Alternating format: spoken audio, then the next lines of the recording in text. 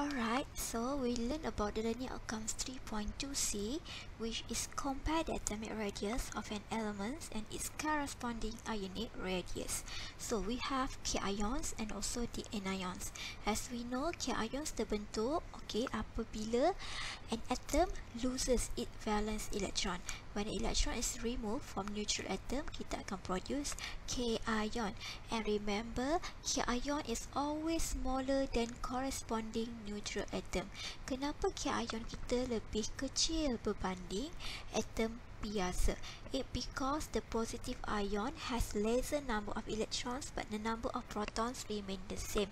Okay. Untuk neutral atom, katakanlah neutral atom kita adalah X. X proton numbernya adalah 11. Jadi proton number bagi X adalah 11. Elektron bagi X juga adalah 11 sebab X adalah neutral atom. So now, when X become a K ion, contohnya 1 positive the charge, the proton number will always remain the same. The difference is now pada electrons. The electron akan jadi 10 because we remove one of the electron to produce X1 plus. This is the K Okay, jangan tersalah benda ni eh sebab some of the student even though kita remove number of electrons, okay, ada yang still buat salah lagi pada proton. Dia ingat proton pun jadi 10 tak boleh eh. Proton tetap maintain 11 elektron yang berubah. Therefore the remaining electrons experience greater attraction towards the nucleus thus positive ion smaller than its neutral atom. So jadi elektron yang tertinggal ini disebabkan kita dah kurang satu jadi attraction towards the nucleus tu lebih stronger lah untuk dia orang. Katakanlah eh kita ramai adik-beradik okey. Katakan kita anak yang ke-10 anak kita anak yang ke-10 and then uh, parents kita bagi kasih sayang terpaksa divide dengan anak pertama kedua ketiga keempat kelima keenam ketujuh ke-8 ke-9 okey. Jadi macam nak kata dapat sama rata pun tak sama rata sangat. Kita nak bolok semua kasih sayang pun tak boleh sangat. Jadi bilanya salah seorang katakan kakak yang ke-8 pergi pergi ke boarding school, abang yang ke-7 uh, pergi boarding school, kakak pertama kahwin. Of course, yang remaining-remaining tu akan lebih mendapat more more more kasih sayang, attraction more more more dengan parents. Okay, macam itulah contoh dia. Okay, so now let's see kita punya anions.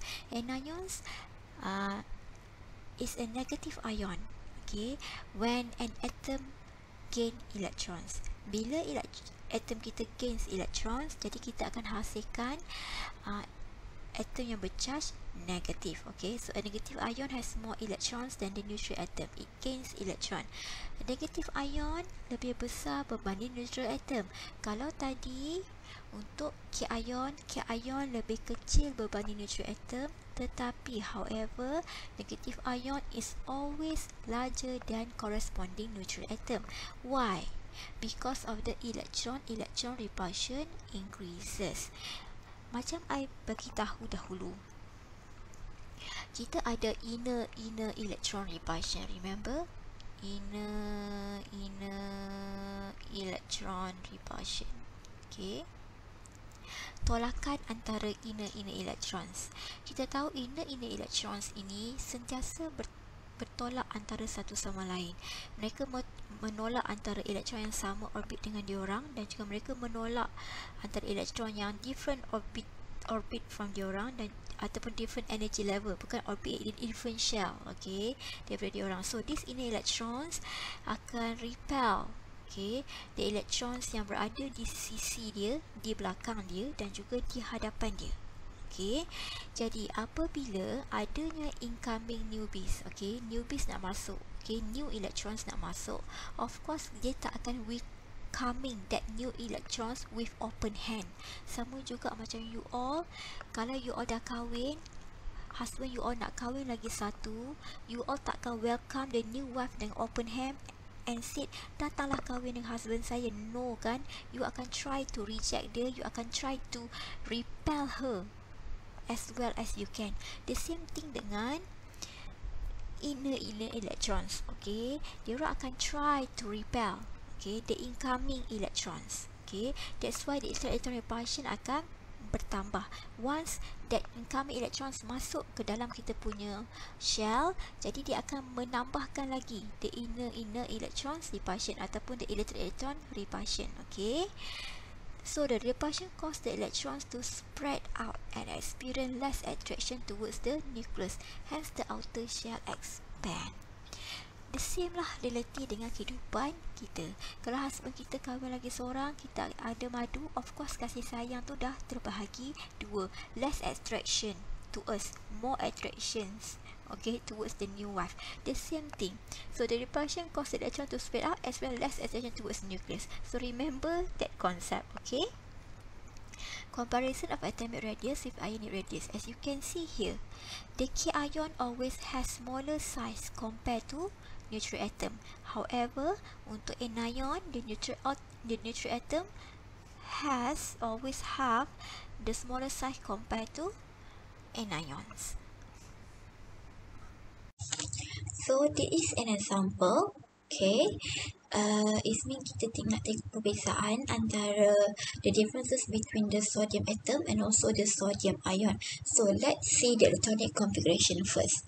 The electronic configuration for the sodium atom is 1s2, 2s2, 2p6 and 3s1. While for the sodium ion 1s2, 2s2, 2p6 because it has lost one of the electrons.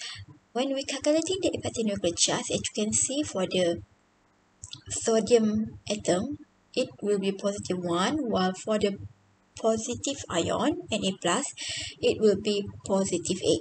So, sodium ion has greater ZeV, effective nuclear charge, compared to the sodium atom. As I told you before, ion always have smaller size compared to sodium atom because their ZeV is greater. Number of shell is 3. Number of shell is 2. Okay, because, you know, we have removed the valence electrons. That's why n equal to 3 is no more. Therefore, Na has greater shielding effect. Okay, this one is explained in terms of shielding effect. Of course, the sodium atom has greater shielding effect because it has greater number of shell, more electron repulsion compared to sodium ion. And then nucleus attraction for the sodium atom is weaker. However, nucleus attraction for the sodium ion is stronger. Size is much more bigger and size is much smaller. So this is the explanation. Must have these four points. Sodium release one electron to form the sodium ion. The removal of electron making the electron-electron repulsion decreases. Jadi bila kurangnya satu elektron, jadi electron repulsion tu akan berkurang. Therefore nucleus attraction okay towards the valence electron much more stronger ataupun the attraction between the nucleus and the valence electron become stronger in sodium ion. Therefore, the size of sodium ion is smaller than the sodium atom. So, let's see the example for anion. Uh, for anion, uh, as you can see here, we are comparing between Cl atom and also the chloride ion, Cl minus ion. The atomic configuration for the Cl atom is 1s2, 2s2, 2p6, 3s2, and 3p5. While for the chloride ion is 1s2, 2s2, 2p6, 3s2, and 3p6. Okay, the difference is in the 3p. For Cl minus ion it's 3p6 while for the Cl atom is 3p5 because now the Cl atom when receiving one more electrons it will become the Cl minus ion, chloride ion. When we calculating the effective nuclear charge as you can see here the Cl atom the effective nuclear charge is plus 7.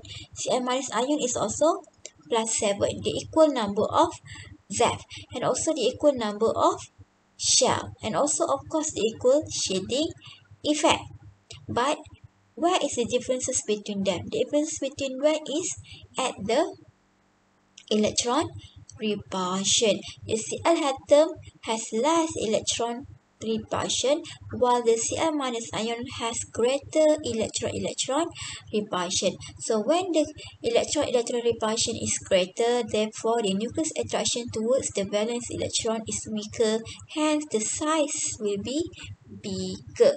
This is the explanation. The Cl atom accept one electron to form the Cl ion. The additional electrons make the electron-electron repulsion increases. Hence, the nuclear attraction towards the valence electron become weaker in Cl ion. Therefore, the size of chloride ion is bigger than its Cl atom.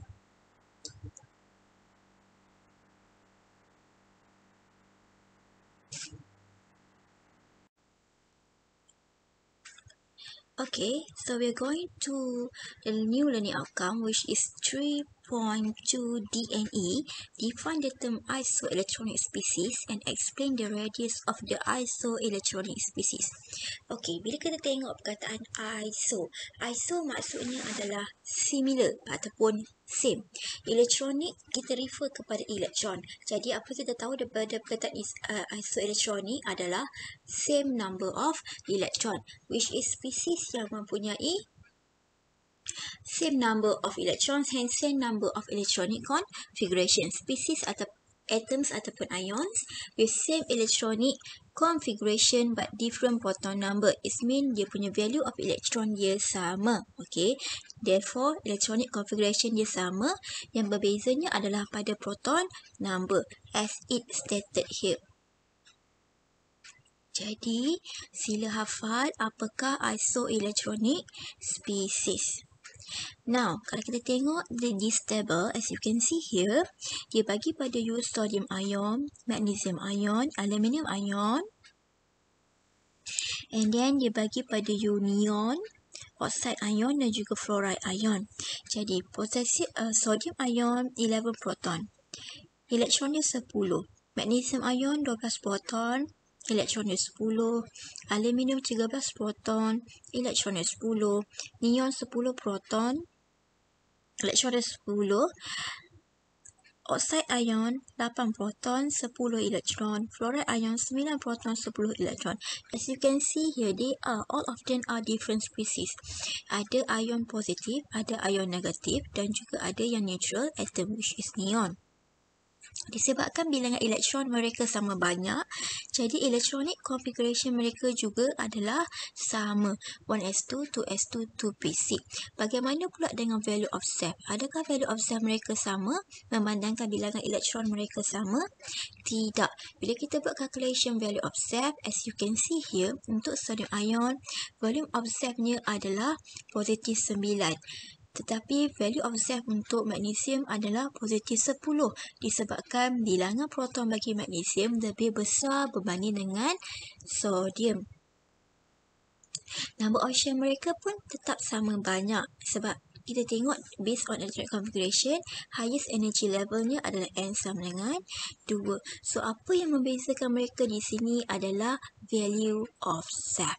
Jadi, size, uh, jadi value of self akan determine the size of this species. Lagi higher value of self, hence lagi kecil lah the size of this species. So, bila kita arrange them, ascending order in size is mean increasing in size. Ke arah ke arah kanan adalah increasing in size. Jadi kalau kita tengok increasing in size, yang paling kecil mestilah yang paling mempunyai the species that has the smallest size must be the species that has the highest value of self. So dekat sini yang ada highest values of self adalah aluminium ion. So aluminium ion yang paling tinggi Zef dia why aluminium ion yang paling kecil. Followed by magnesium ion Followed by sodium ion Followed by neon Followed by fluoride ion And the biggest size is oxide ion Because oxide ion as you compare with all of these species Dia punya value of Zef yang paling smaller. Alright Therefore, macam mana kita nak tulis dia punya explanation? The size of isoelectronic species depends on self. Selalunya bila you buat bila soalan arrangement and then you arrange, you akan dapat satu markah untuk arrangement. You wajib tulis arrow. Arrow ini wajib ada ya. Okay. And then this one pun you wajib label. Make sure you buat koma, koma, koma, koma tersebut. This one you akan dapat 1 marks. So, all these are isoelectronic species. Ini mesti point yang pertama. Sebab itu, kalau you dapat soalan melibatkan ion and dia minta you arrange the size of them. That's why you kena determine dahulu. Adakah ion itu isoelectronic ataupun bukan. Okay, sebab itu always always calculate ataupun tulis dia punya electronic configuration. So, ini one point. Proton number decrease daripada aluminium, which is aluminium besar proton number compared to magnesium. Magnesium besar daripada sodium. Sodium punya proton number besar daripada neon. Neon punya proton number besar daripada ion. Fluoride ion punya proton number besar daripada oxide ion. Therefore, nuclear charge dia decreases. Yang ni you kena cerita lah. You kena uh, kaitkan dengan dia punya effective nuclear nuclear charge.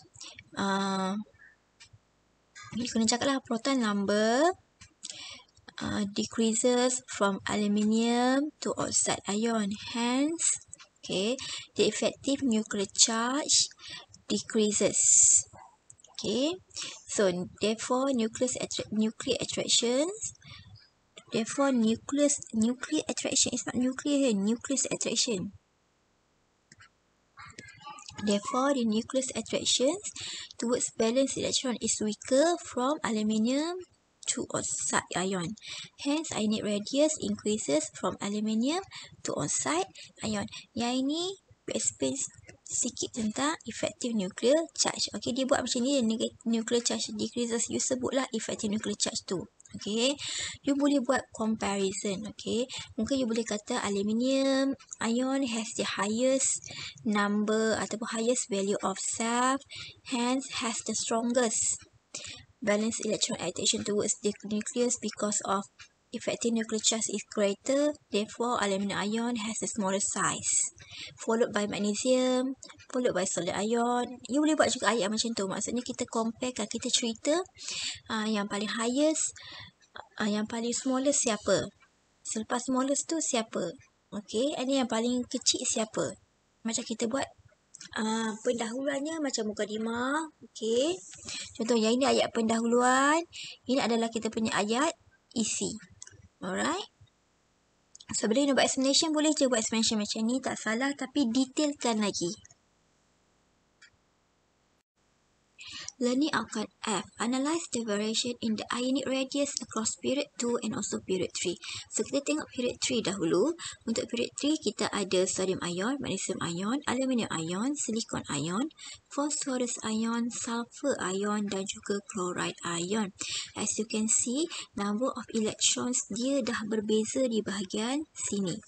Daripada sodium ion kepada silicon ion, number of electron mereka adalah 10. Tetapi untuk phosphorus ion ke chloride ion, number of electron mereka adalah 18. Jadi, dia orang group yang difference isoelectronic species. Yang ini adalah kategori bagi anion. Yang ini pula adalah kategori bagi K-ion. Jadi, all these K-ion adalah isoelectronic species while all these anion juga isoelectronic species. Jadi kita kena explain dahulu in terms of cation, lepas itu explain in terms of anion punya case, and then barulah kita try to compare both of them, cation dengan anion punya, okay, baru kita buat arrangement. Alright, jadi kita tengok explanation dia macam mana. Sodium ion, magnesium ion, aluminium ion and silicon ion are isoelectronic species. Betul, disebabkan bilangan electrons mereka sama. So, proton number decreases from silicon ion higher proton number compared to aluminum ion. Aluminum ion higher proton number compared to magnesium ion. Magnesium ion higher proton number compared to sodium ion. As you can see here, the proton number, okay, silicon ion paling highest proton number. Hence, the nucleus attraction towards valence electrons is stronger Okay, in silicon ion stronger compare kepada aluminium ion, compare kepada magnesium ion, compare kepada sodium ion. Therefore, size increases from silicon ion.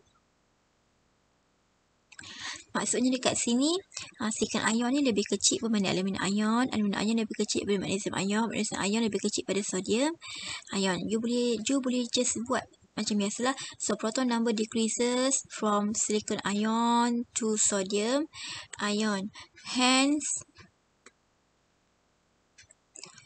the value of Z hence the effective nuclear charge.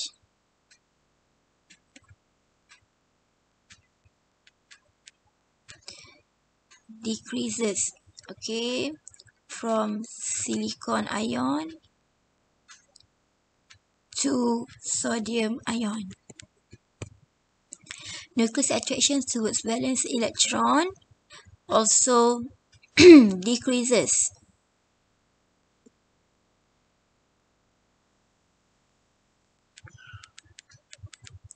from silicon ion to sodium ion. Hence, the size increases from silicon ion to sodium ion. Ha, macam tu, okay? So, kita masuk pula untuk anion. Untuk anion, as you can see here, phosphorus ion, sulfur ion, sulfide ion, and chloride ion are isoelectronic species. Okay, kalau kita tengok dekat sini, dia punya nilai number of uh, apa? Proton number, mana proton number dia? So, proton number kalau kita tengok, proton number daripada uh, phosphorus kepada chloride Okay. Uh, proton number dia bertambah eh. So, chloride ion ni, Cl ni, Cl minus lebih banyak proton number berbanding dengan phosphorus. So, phosphorus ni, ini dah satu markah. So, proton number increases daripada P3 minus until Cl minus. Ini cerita juga tentang dia punya ZEF. Okay, nanti you all ceritalah pasal ZEF dia. Hence, the effective nuclear charge, okay, increases, okay, from 4, 5, from from phosphorus atau phosphide ion to chloride ion. Okay. Therefore, nucleus attraction towards valence electron become stronger.